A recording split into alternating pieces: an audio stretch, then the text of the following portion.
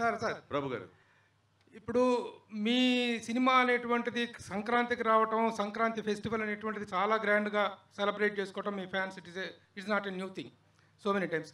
ఇంతకుముందు కూడా మీ సినిమాలు బాలకృష్ణ గారి సినిమాలు సంక్రాంతికి రిలీజ్ అయినటువంటి సందర్భాలు చాలా ఉన్నాయి. There is a wonderful sharing of success అంటే ఇద్దరు ఫ్యాన్స్ కూడా అలరించబడ్డారు. It is wonderful thing but ఈ సినిమాకు సంబంధించిన వరకు ప్రొడ్యూసర్స్ ఒకళ్ళే కావటం అనేటువంటిది. That itself shows great difference in the sense I mean as far as the prominence of your publicity కావచ్చు ప్రామినెన్స్ ఆఫ్ థియేటర్స్ కావచ్చు prominence of the producers concentration కావచ్చు. How do you take this particular అంటే అన్నిటికీ ప్రొడ్యూసర్లు అనేవాళ్ళు ప్రధానం అండి వాళ్ళ ఇది వాళ్ళ సినిమా.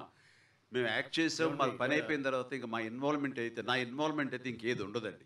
ఇది వాళ్ళిద్దరికీ రెండు కళ్ళు రెండు వాళ్ళ కన్నబిడ్డలు. ఏ బిడ్డకి ఏది అన్యాయం చేస్తారు?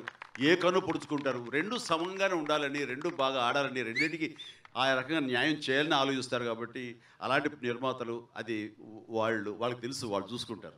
రవి గారు మీరు కూడా. అదే. అది యాక్చువల్ మా క్వశ్చన్ అండి అది. సార్ని అడిగారు కానీ అది మా క్వశ్చన్ మేము ఆన్సర్ చేయాల్సిందే. మాకు ఎన్నోసార్లు చెప్పారు సార్ రవి మీ సినిమా రెండు రెండు బాగుండాలి. దాంట్లో అసలు ఎటువంటి అనుమానం లేదు. రెండు సినిమాలు ఆడాలని ఎన్నిసార్లు అన్నారో నిజంగా మాకు తెలుసు. యాక్చువల్గా హీస్ వెరీ వెరీ ఆప్టిమిస్టిక్ అండి చిరంజీవి గారు. అది డెఫినెట్గా మాకు అటు సైడ్ నుంచేనే అలాగ ఉంది ఇటు ఉంది. ఎటువంటి ఇబ్బంది లేదు. అందరం ఎంతో హ్యాపీ చేసుకుని ఎంత ఎంజాయ్ చేసాం చూడండి.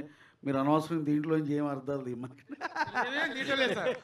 నిజంగా ఇది అర్థం తీయటం కాదు. యాక్చువల్గా this is the time that you need to give a clarification from your side so things will get pacified Super, అనేటువంటిది. మా ఉద్దేశం Super. అంతే తప్ప we don't want to make any senses out of it we are